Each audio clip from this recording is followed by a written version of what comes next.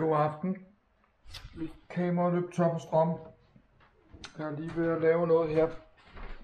Det der airline simpelthen ikke færdig. Så lad os spise den sidste frikadelle, bare kalde det natmad.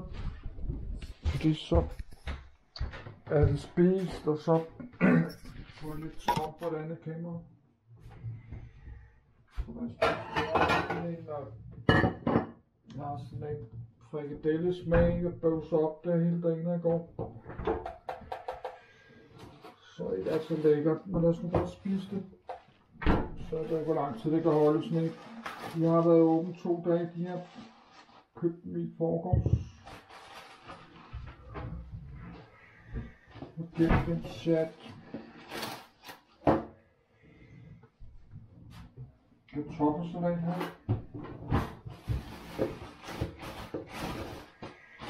Så nu har jeg skal gemme den på. Så er det nok ud. Så det er bare sådan en lille øh, hyggesæt. Sådan en kan man sagtens bruge til alt muligt. Sådan en til Lego-klods og alt muligt.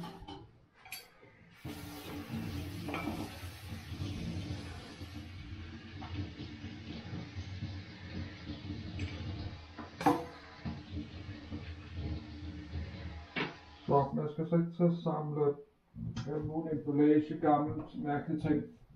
Man kan godt bruge sådan en til et andet. Til elastikker og alt muligt. Så jeg har et glas her. Jeg har sådan en, man kan godt bruge sådan noget. Prøv så til uh, silicon carbide. Den her bruger jeg til uh, ristet løg. Jeg tror,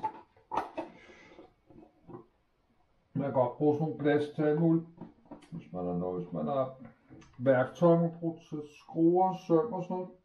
Hvis man har noget. Jeg har ikke noget værksted. Der er så meget værksted, kan man bruge sådan noget.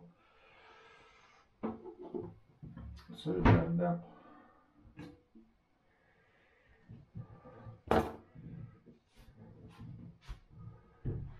Så hvad man går og laver sådan.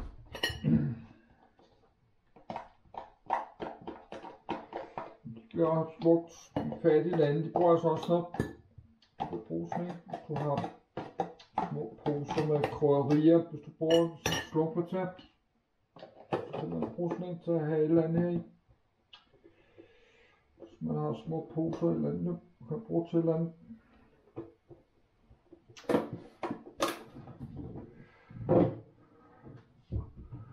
Så folk helt fattige mennesker der bruger slumpetab. De går også og samler rundt omkring, hvor de bruger af bygge ting og sager, byggematerialer, gamle tøj og alt muligt mærkeligt.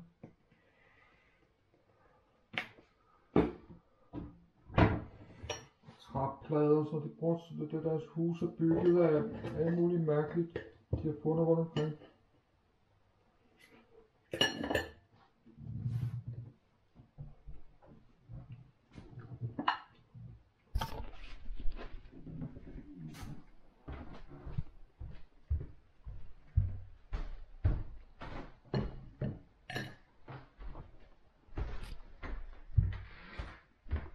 Nej, sådan nogle hus, øh, slumper til, de er bygget af sådan noget byggeaffald. De har bygget alt muligt, de har gået og købt og stjålet, de stjæler også meget af det, folk går og stjæler byggematerialer og alt muligt.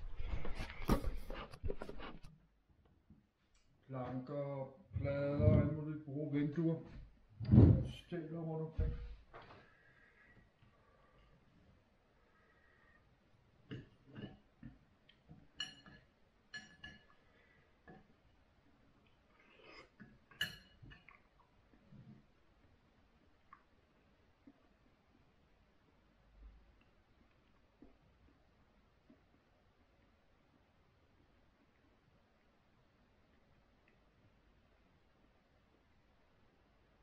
om uh, halvdelen af, af Delhi by.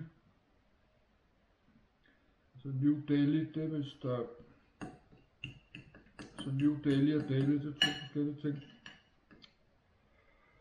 Det er så samme område, og halvdelen af de, der bor der, bor ulovligt. De bor på grunden, de ikke ejer sig.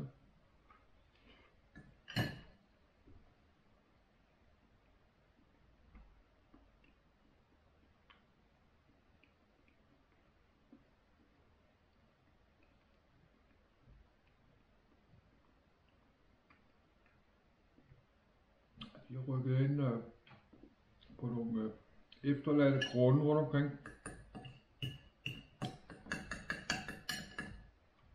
Erhvervsgrunde og sådan nogle ting. Det var en grund, der blev ejet af en anden familie, der bor langt væk, som ikke bruger den til noget.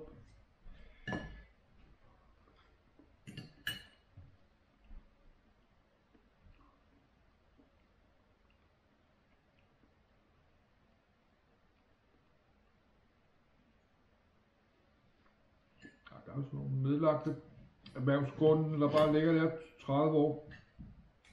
Som gammel autoværksted eller sådan en eller anden gammel mand, der ejer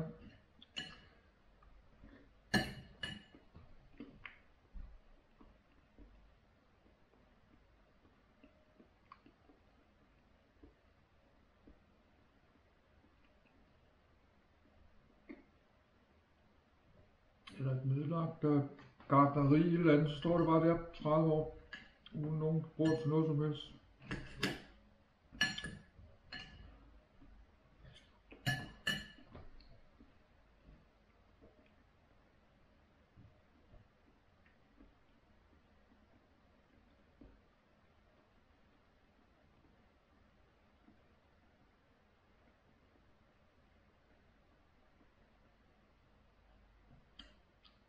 De har lavet en regel i England, tror jeg, nogle rige mennesker, der bare efterlader tomme erhvervsbygninger flere år.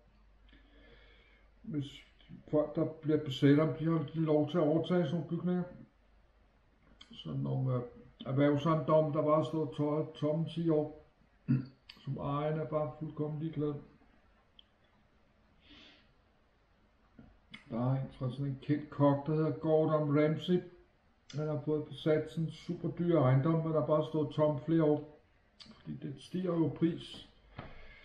Det ligger der en super attraktiv sted inde i London, hvor ejendomspriserne bare stiger 10-20 procent om året. Det var mega mange penge, hvis det var så 100 millioner værd. Og ejendomspriserne stiger 10 procent om året, så får man jo 10 millioner gratis. Jo. Derfor så, de, så har de ikke travlt med at sælge. De har ikke travlt med at sælge, fordi de ved, at det stiger stille og roligt pris, de der grunde, de har. Hvis de ligger inde i store byer, så